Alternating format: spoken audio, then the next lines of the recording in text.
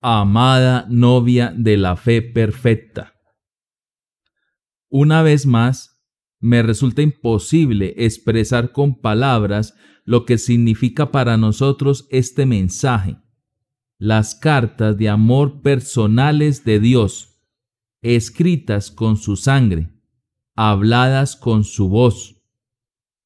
Todo lo demás no significa nada. Nosotros lo amamos desde lo más profundo de nuestro corazón y esto nos ha dado un amor perfecto por Él. Nada puede apartarnos de esa palabra.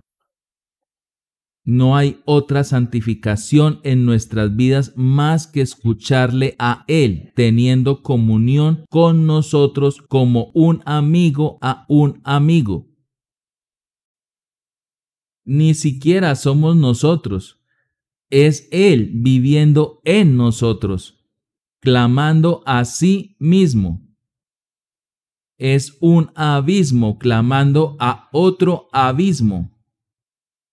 El puro gozo de presionar play y escuchar a Dios usar una voz humana para decirnos que somos sus elegidos para decirnos que Él nos amó antes de la fundación del mundo, porque Él sabía que le amaríamos con todo lo que estaba en nosotros y que nos mantendríamos fieles a Él y a su palabra.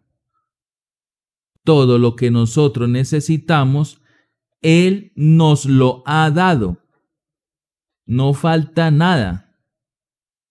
Él dejó su palabra escrita en forma de carta y la preservó durante miles de años para poder decirnos todo el amor que había en su corazón por nosotros.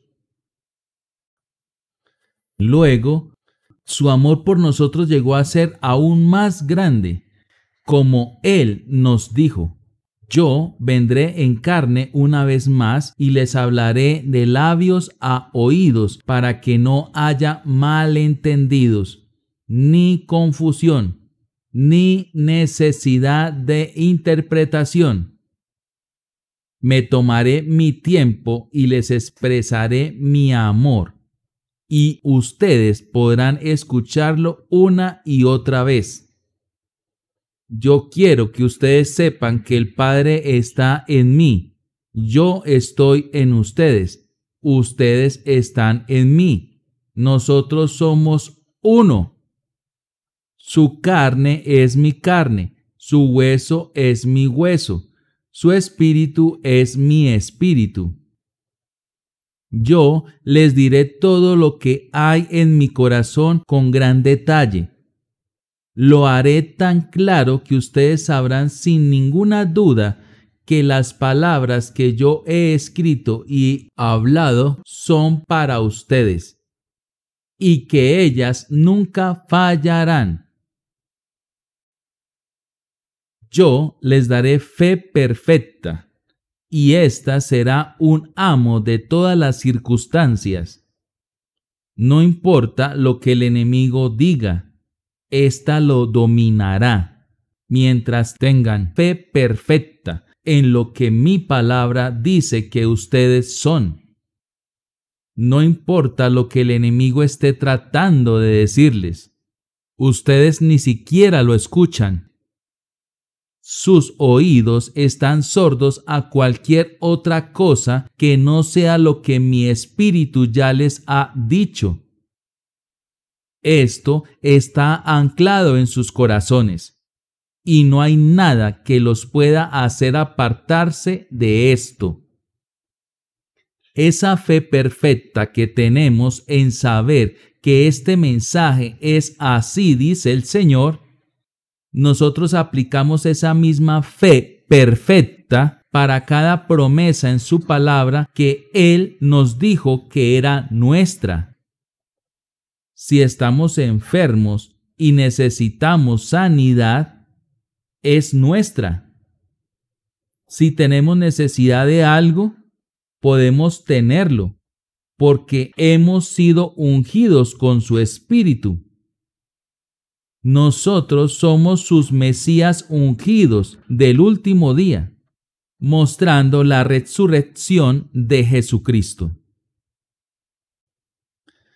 Esta es una relación amorosa, ya que Él mismo se está derramando en nosotros. Estamos llegando a ser uno con Él para esa gran cena de la boda. Su Espíritu está aquí con nosotros y en nosotros. Solamente tenemos que hacer una cosa, y es creerlo, aceptarlo. Nosotros no somos el séptimo ángel mensajero de Dios, pero somos sus hijos e hijas.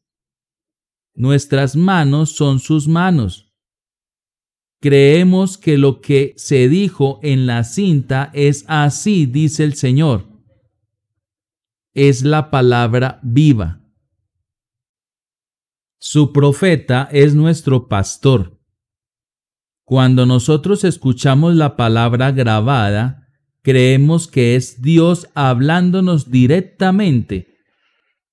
Tenemos fe perfecta creyéndolo al reunirnos alrededor del mundo para escuchar a Dios hablarnos por medio de su profeta. Nuestra fe se eleva cada vez más alto, ya que Dios está reuniendo a su novia alrededor de su palabra vindicada. Mañana será como ningún otro día. Tomaremos nuestra fe perfecta que Él nos ha dado y la aplicaremos para lo que necesitamos y lo recibiremos mientras la columna de fuego habla por medio de su mensajero escogido y nos dice, ¿Sabéis vosotros lo que os he hecho? Me habéis llamado vuestro pastor, y bien decís, porque lo soy. Si yo, vuestro pastor, he sido identificado por Jesucristo que hago su obra, entonces crean mi palabra. Al llevar a cabo este acto de fe, poniendo manos sobre ustedes, he condenado la enfermedad y las aflicciones que les perturban. Créanlo. Así recibirán sus peticiones, sin importar lo que sea. Porque todo es posible a los que creen. Y cuando oren, crean que recibirán lo que piden.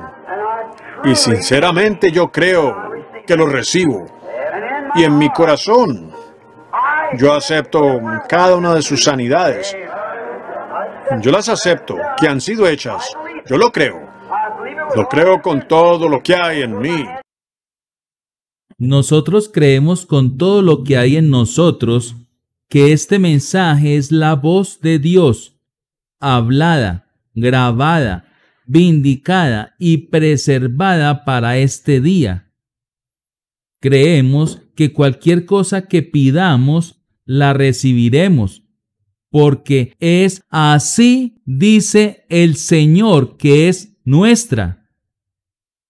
Vengan y acompáñenos este domingo a las 12 de la tarde, hora de Jeffersonville, para recibir lo que ustedes necesiten mientras escuchamos al profeta de Dios decirnos cómo recibir la fe perfecta.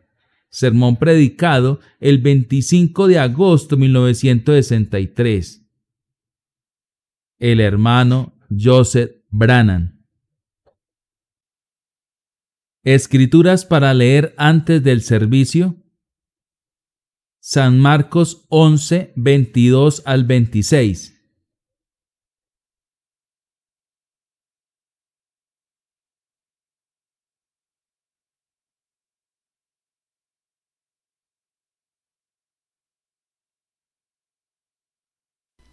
Respondiendo Jesús les dijo, Tened fe en Dios. Porque de cierto os digo que cualquiera que dijere a este monte, Quítate y échate en el mar, y no dudare en su corazón, sino creyere que será hecho lo que dice, lo que diga le será hecho. Por tanto, os digo que todo lo que pidiereis orando, creed que lo recibiréis, y os vendrá. Y cuando estéis orando, perdonad, si tenéis algo contra alguno, para que también vuestro Padre que está en los cielos os perdone a vosotros vuestras ofensas. Porque si vosotros no perdonáis, tampoco vuestro Padre que está en los cielos os perdonará vuestras ofensas. San Marcos 16, 15 al 18.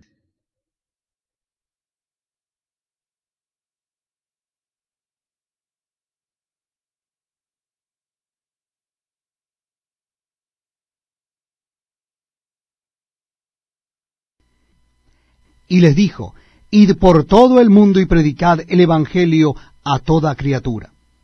El que creyere y fuere bautizado será salvo, mas el que no creyere será condenado. Y estas señales seguirán a los que creen.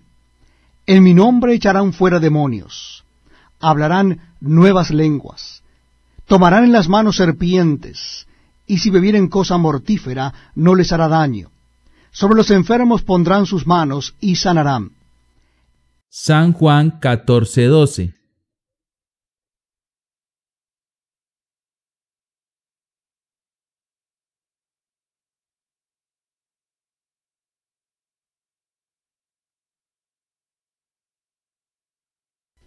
De cierto, de cierto os digo, el que cree en mí, las obras que yo hago, él las hará también, y aún mayores hará porque yo voy al Padre.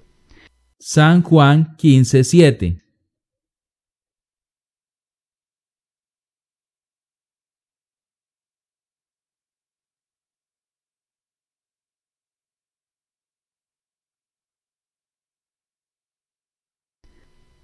Si permanecéis en mí y mis palabras permanecen en vosotros, pedid todo lo que queréis y os será hecho. Hebreos 11:1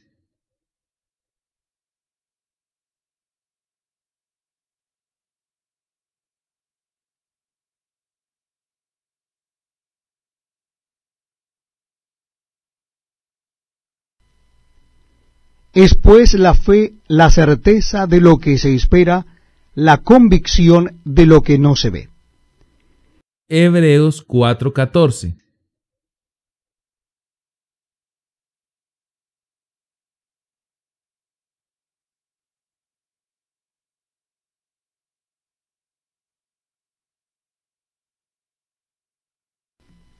Por tanto, teniendo un gran sumo sacerdote que traspasó los cielos, Jesús, el Hijo de Dios, retengamos nuestra profesión.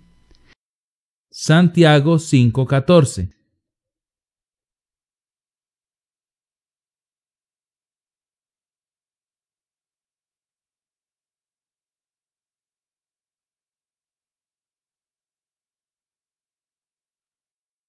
¿Está alguno enfermo entre vosotros? Llame a los ancianos de la iglesia y oren por él, ungiéndole con aceite en el nombre del Señor.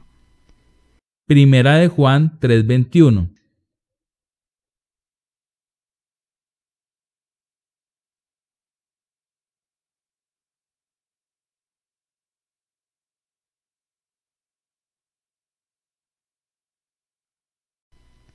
Amados, si nuestro corazón no nos reprende, confianza tenemos en Dios